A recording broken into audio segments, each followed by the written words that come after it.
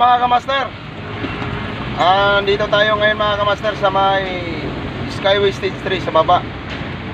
Pero aakyat tayo mamaya mga kamaster sa taas. Ah, yun pala mga kamaster, ah, nakunan kanina yung pagkarga namin ng equipment kasi 1pm po kami nagkarga, eh naghahabol po kami ng truck ban.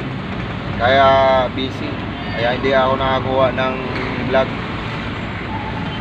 Kaya yun mga kamaster, ah, isi-share ko sa inyo mamaya kung kung ano yung update dito sa taas kasi pinapadaanan na yung yung skyway, ba?